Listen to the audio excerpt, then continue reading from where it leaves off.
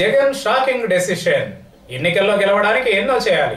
అన్నిటికంటే ముందు సమర్థులైన అభ్యర్థులను ఎంపిక చేయడం సవాల్తో కూడుకున్న వ్యవహారం. ఇందుకోసం ప్రధాన పార్టీలు పలు రకాలైన మార్గాలను అన్వేషిస్తూ ఉంటాయి. వైసీపీ విషయానికి వస్తే ఎమ్మెల్యే అభ్యర్థుల ఎంపిక కోసం పరిశీలకులను పంపబోతోందట. ప్రతి అసెంబ్లీ నియోజకవర్గానికి ఒక పరిశీలకుడు త్వరలో రాబోతున్నారు.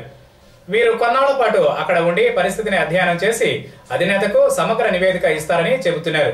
ఇప్పుడున్న ఇన్ఛార్జీలతో సహా ఎవరికీ సీటు విషయంలో గ్యారంటీ లేదని వైసీపీ అధినాయకత్వం అప్పుడే స్పష్టంగా చెప్పేస్తోంది.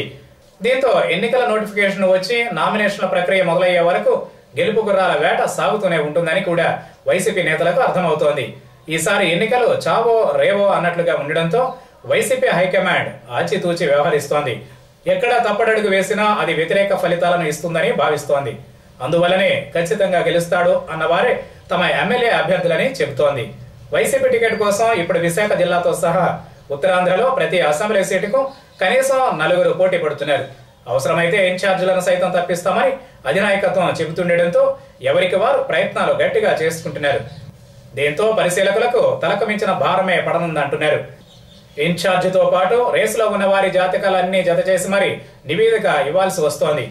ఇక పరిశీలకుడి మీద ఆశావహులు ఒత్తిడి తెచ్చే అవకాశాలు ఎక్కువగానే ఉంటాయి.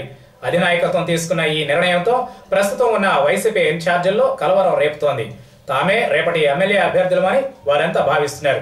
ఇప్పుడు మళ్ళీ బయోడేటాలు జాతకాలు అంటూ పరిశీలకులను రంగంలోకి దింపితే తమకు ఛాన్స్ వస్తుందా అని వారు తల్లడిల్లుతున్నారు. తామే పోటీ చేస్తామని భావించి ఇబ్బడి ముబ్బడిగా పెడుతున్న ఖర్చు కూడా వృధా అయిపోతుందని మదన పడుతున్నారు మరోవైపు తరచూ ఇన్ఛార్జీలను మార్చడం కొత్త వారిని ఎన్నికల వేళ ఎమ్మెల్యే అభ్యర్థులుగా పెట్టడం వల్ల ఆశించిన ప్రయోజనం సమకూరకపోగా చేదు ఫలితాలు వస్తాయని కూడా పార్టీ నాయకులు అంటున్నారు.